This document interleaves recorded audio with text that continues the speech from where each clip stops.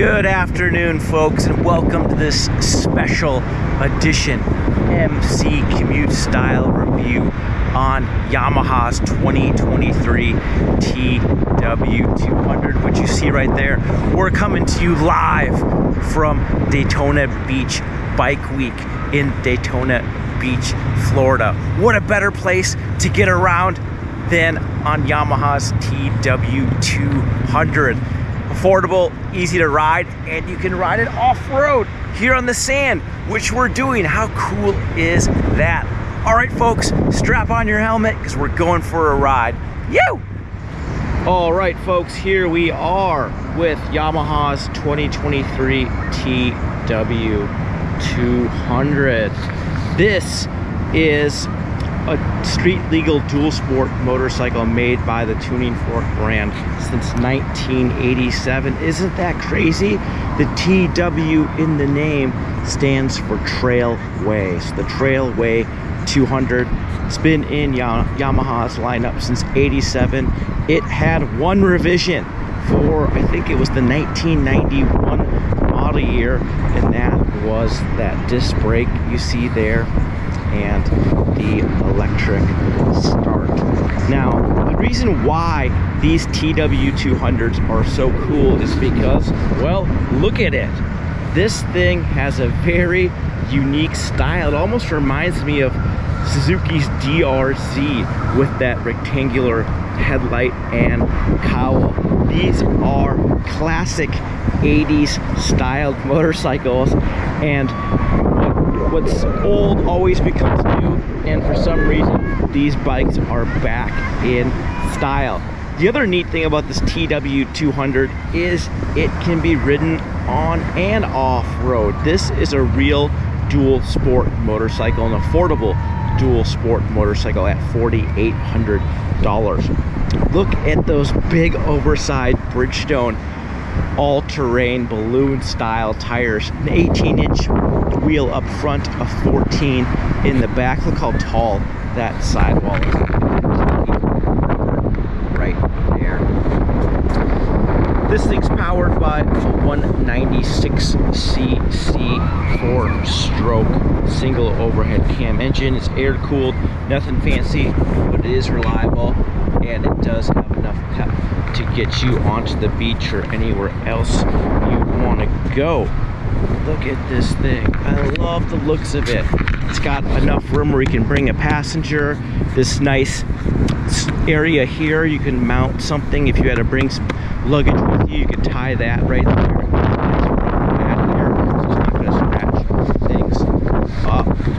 All right, folks. Well, enough talking about this thing. Let's swing a leg over this TW200 and tell you what it's like to ride here in Daytona Beach, Florida. You! All right, folks, here we go. A good old-fashioned signature Yamaha motor mechanical key. Turn the ignition. Let's go for a ride. You go first. Sure? Yeah. Nope. And away we go, guys. All right, engine on this thing. This vehicle is powered by a 196cc single overhead cam engine with a two valve cylinder head. So one intake valve, one exhaust valve. This engine features a counterbalancer and it's air cooled. So ambient air cools the the cylinder via fins that are shrouded around the cylinder. This vehicle has a five-speed manual transmission with a cable actuated clutch. It puts back the power to a 18 inch, I'm sorry, a 14 inch rear wheel via chain final drive on the left hand side of the vehicle. Look how pretty this is. Look at our fellow motorcycle riders taking in the sights and sounds of this old Dixie highway in central eastern Florida near Daytona Beach. Now, we mistakenly said yesterday that Yamaha updated this model for the 1991 year. It's actually the 2001 model year. They added electric start, which you see right there, and that front disc brake. Besides that, that's the only changes that this mo motorcycle has had since being released for the 1987 model year. I can't tell you how many people have pulled over and waved at us and said, oh, that's a nice bike. Where do you get those? Those things are awesome. It's pretty crazy that a $4,800 bike that was built in 1987 would still garner that much attraction at stoplights. Now, this 196cc engine drinks from a 1.8 gallon fuel tank. There is no fuel gauge, there is no fuel light, but there is a petcock which allows you to move the fuel position from on, off for transport for transport and reserve. This motorcycle employs a, a, mechanical carburetor, so that's why it retains the fuel petcock. Look at this marsh swampland. This is awesome. Now this motorcycle, this thing sips fuel. We've gotten right around 60 miles per gallon during the course of our ride. Obviously we're doing a lot of stoplight to stoplight riding here, but if you're a cruiser and you keep the speeds lower, Yamaha says you can get upwards of 70 mpg out of this vehicle. Look at this, yoursnapshot.com. That's sick. This guy's taking photos. That's awesome. And I love this engine. It's really nice and peppy. You'd be surprised how much pep this 196cc overhead cam single has. Like for a for a 200cc bike, this motorcycle engine is more powerful than some 250cc water-cooled engines I've ridden. It's really neat how much torque this thing has we rode this bike on the freeway and as you can see later in the video this thing has some pep with a top speed of upwards of 80 miles per hour. How crazy is that? Now obviously at those engine running speeds this engine vibrates quite a bit but considering its price point considering its its more rudimentary engineering having a bit of engine vibration is par for the course. Absolutely acceptable Now this motorcycle is pretty fresh. We only have 105 miles on the clock. So the transmission is a little, it's a little sticky. It's definitely broken in since we began our ride when the motorcycle had 25 miles on the clock.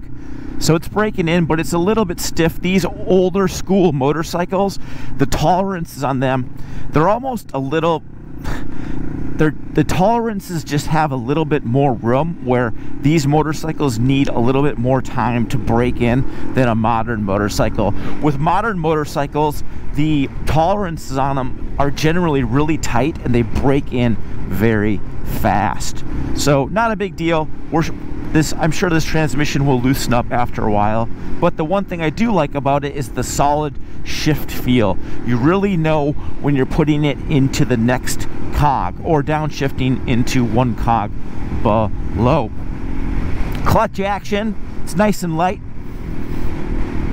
Nice and light, has a decent level of response. You're really not going to be using the clutch. Basically, you just use it as a tool to let it out. There's not like a lot of clutch slipping that has to happen with this motorcycle because it's so light and, and the power is so modest. But if I was someone that wanted to learn how to ride on a forgiving motorcycle, I think this TW200 would be a good option just because of its low seat height and how you and how accommodating it is with the clutch and the engine. All right, folks, we are back on the road. We had to pull over and take a photo and adjust my camera, and Jared wanted to talk to me for a second. So here we go again. Now this motorcycle rolls on an 18 inch front and 14 inch rear spoke wheel with Bridgestone trail wing all-terrain dual sport style tires. The tires are nice and meaty and they are really cool. They almost provide a second set of suspension just because they're so oversized and the sidewall is so tall, especially at the rear. Now, this motorcycle employs a telescopic fork and a coil spring shock, shock absorber that works without a linkage. It attaches directly between the frame and swing arm. just over six inches of suspension tra travel up front and just a little bit under six inches out back. This motorcycle rides really good for a for a little 278 pound street bike. This thing rides over bumps good, and like we said, the tall sidewall tires they almost act as a second set of suspension. Look, a curve the only curve in Florida, and we did it, and it felt good on Yami's TW200. I love how agile this little bike is. It's so fun to ride. Well, there was a big bump, and that's where having a maneuverable, lightweight, and low to the ground motorcycle really pays dividends. This would be a really good bike to learn how to ride on. Very forgiving. Look how beautiful this peat Moss is. Now the seat on this motorcycle, like we said, is very low to the ground. It's almost like a dirt bike seat, but it's a little bit wider than a conventional dirt bike. Still, we rode basically all day in this saddle yesterday and the seat is a little bit you're you want to get off it after riding for 60 70 miles. But realistically you're not going to be riding 60 70 miles at a time on this motorcycle. This motorcycle is designed for short jaunts around town. And for short jaunts around town and short blasts from point a to point b it works great the foot pegs on this motorcycle are they're like off-road bike foot pegs. They're serrated, but they're a little bit teensy weensy. But not that big of a deal. Steel handlebar. I like the bend on it. It's got nice rearward sweep, not too high, not too low. Would be nice if it had a crossbar pad, but that's just the way it goes, I guess, sometimes. Again, this is a $4,800 motorcycle. Look at those animals. I love being in nature. There's nothing more I like than riding my motorcycle and seeing new places and seeing new adventures and seeing Mother Nature in all of its glory. Now, the braking package on this motorcycle, this single disc front disc brake, it works really good. The, the, the master cylinder offers good response. The rear brake is not quite as responsive in terms of modulation. Of course, it's a drum brake, and drum brakes don't have that precise level of modulation as, as a disc brake, but the brakes get the job done, and I like how much feel this motorcycle has for an entry level $4,800 motorcycle. Unfortunately, this time we didn't get to ride this motorcycle after dark. I wanted to, but it started raining like crazy. And I just wasn't up for riding in crazy rain. Maybe I'm getting old. So we weren't able to test out the headlight on this vehicle. It's worth noting that this, since it was manufactured originally in 1987, this thing doesn't have any LED anything. Halogen bulb headlight, halogen bulb turn signals, halogen bulb tail light, no LEDs. But we're cool with it. All right, folks, I am taking in this beautiful trees and this moss overhanging this trees just looks so awesome. These rear view mirrors do a nice job of showing off what's going on behind you. They buzz a lot this engine has quite a bit of vibration at basically any speed, but especially at higher RPM. So the mirrors do cloud up a, a little bit, but they still have good surface area to see what's going on behind you. Oh my gosh. We're getting balked by all these cars and bikes. This is bike week. A lot of folks riding without proper motorcycle safety gear. As always, you always want to don a helmet, full face helmet, gloves, riding boots over the ankle, and long pants and a long shirt or jacket when you're operating these motor vehicles. Now, Yamaha is renowned for its durability and its ability to manufacture products with extreme high quality and this TW200 is no different. Service-wise, after your initial service at 600 miles, Yamaha wants you to change the engine oil at 4,000 miles. After that, service intervals are every 3,000 miles. So basically every 3,000 miles, you want to change the oil, you want to change the filter, and then every other time, I'm sorry, every other oil change, you change the oil screener or clean the oil screener. So there's an oil filter and an oil screener. So every 3,000 miles you change the oil and oil filter and every other oil change you want to clean the screener. You also want to check the air filter at that mileage duration. And oddly enough, Yamaha wants you to check the valve clearance of each of the two valves at 3,000 miles too. So I guess you would kind of say this motorcycle is a little bit maintenance hungry if you're actually putting thousands of miles on it.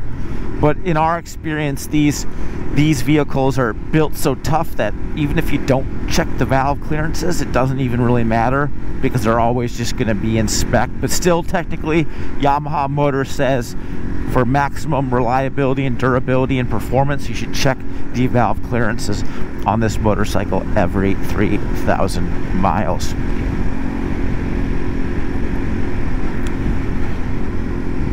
Wow, what a beautiful little ride today. Now another neat feature about this motorcycle is you can actually bring a passenger there are passenger foot pegs. The passenger seat area is relatively long just because the, the saddle's so long and the motorcycle gets more wide at the back. So your passenger has a little bit wider platform to sit on. Of course, you're not going to be any doing any touring style rides on this vehicle, but for jetting around with the missus or the mister, just running quick errands with one of your best friends, this motorcycle is fully capable of that.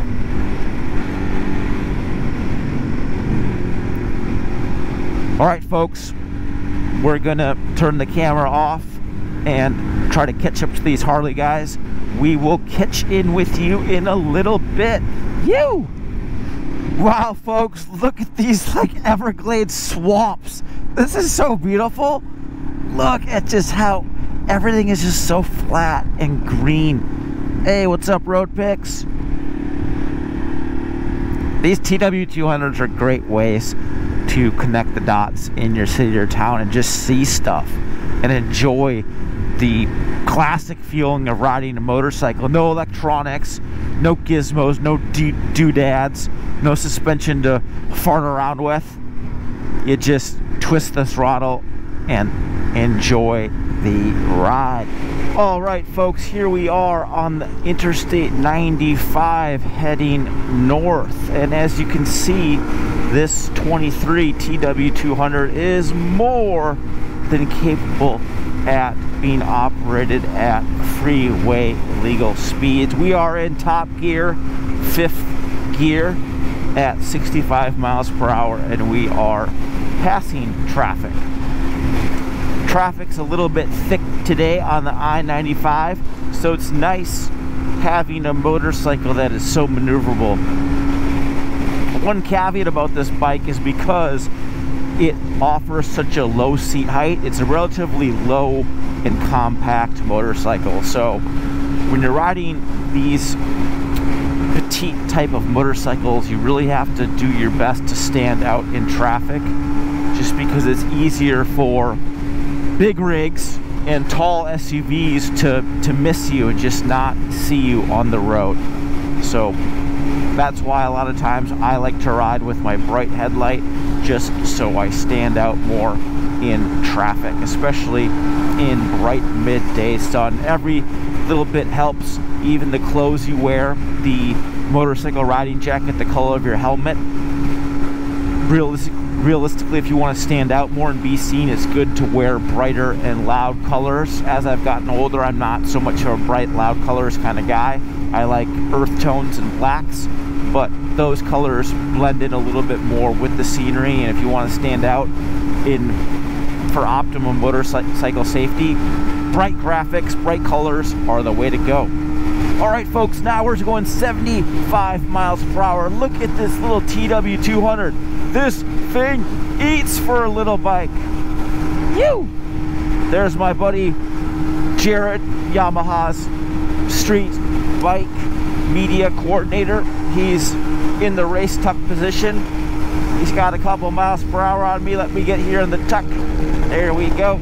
Now we got some draft going. Oh yeah, baby, this is not safe, but it's NASCAR and it's fun. You.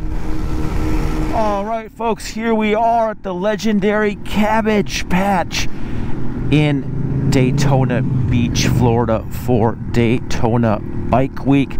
Cabbage Patch is a place where you can camp and hang out and ride your motorcycle and serve as a home base.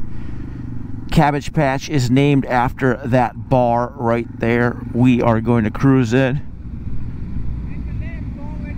Thanks, man. Thank you. He says to make a left and go all the way down. So that's what we're going to do.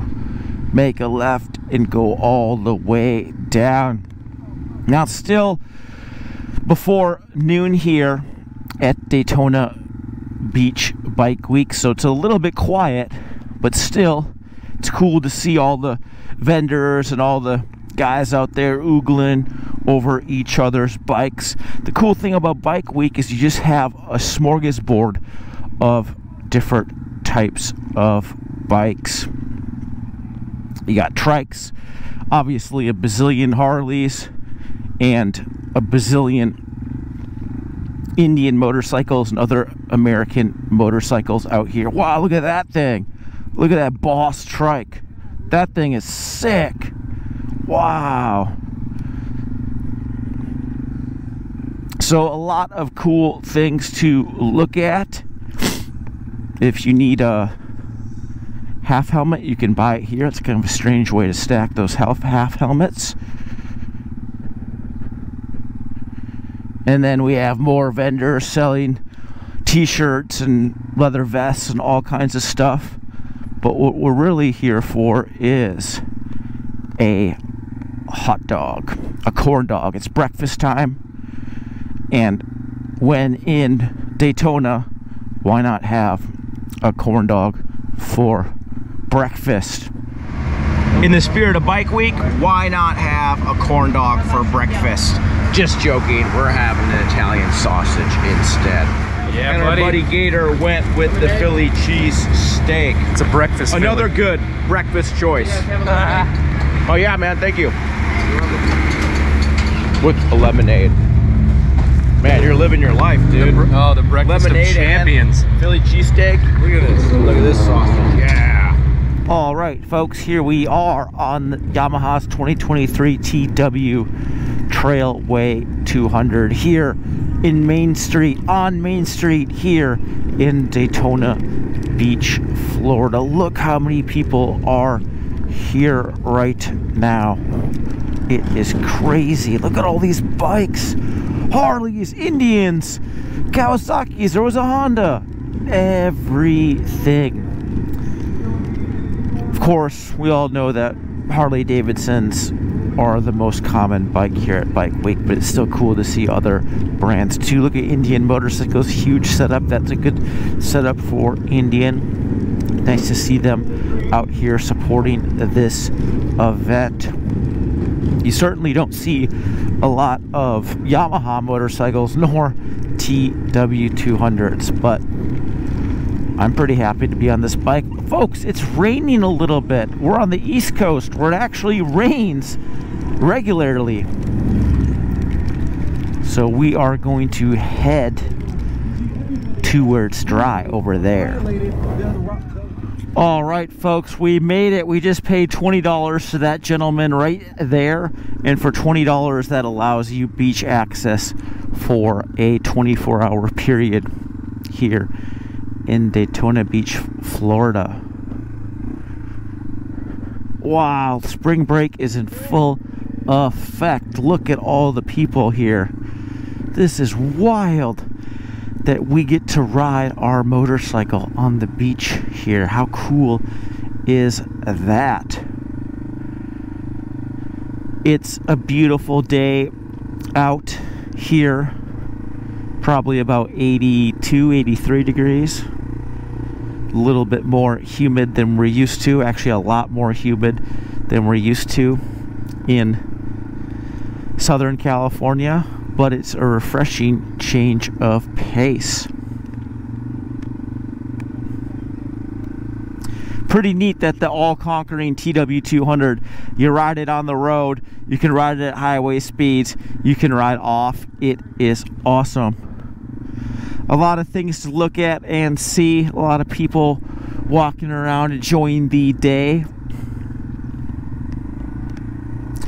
We should have brought a little cooler full of sodas and posted up here and had some fun you can totally do that here well, folks, that was a fun little beach jaunt here in Daytona Beach, Florida. Right now, we're rolling our Insta 360-1X3 360 video cam. That is how we get some of this cool 360 footage that we will show you guys off in this video.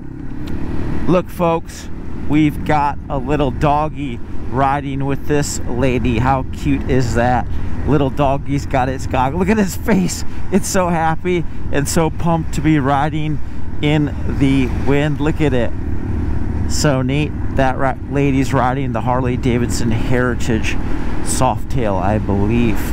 She's got a helmet on, which is nice to see, and gloves. Fingerless, but still gloves. So it's nice to see people donning appropriate motorcycle safety gear when riding down here in the sunshine state of Florida. We're in Daytona Beach Shores. This is the north end of Daytona. We are on A1A. This highway was made famous by Vanilla Ice's song from the 90s, Ice Ice Baby. Then then then then then then then then then then then then Yeah. Yo, vi yo VIP, let's kick it. I used to love that song when I was a child.